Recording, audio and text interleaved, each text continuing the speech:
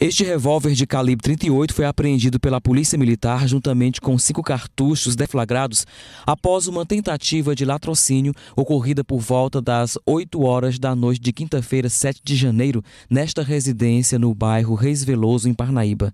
Segundo a polícia, o empresário Antônio Maria da Silva Brito, de 47 anos, proprietário deste empreendimento de venda de material de construção no bairro Piauí, foi atingido a bala por um assaltante ao chegar em casa com uma família família. Por volta das 8 horas, a gente foi acionado lá no.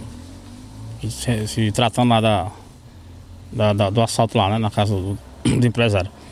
Aí chegamos lá, nós constatamos que, que era verdade. Aí chegamos no local, o, o, o empresário já estava alvejado, certo? Mas não estava no local mais, já tinha sido socorrido pelo, pela família dele. E os meliantes saíram evadidos do local.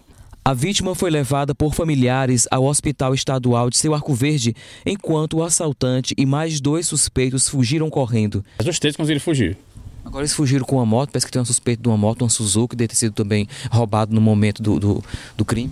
Exatamente, na hora, da, na hora da nossa diligência lá, para ver se nós capturávamos pelo menos algum deles, ou os três mesmo, aí apareceu lá outra vítima lá que também tinha sido, tinha sido é, assaltado por esse mesmo indivíduo, tá? esses mesmos bandidos uma, se tratando de uma moto Suzuki preta.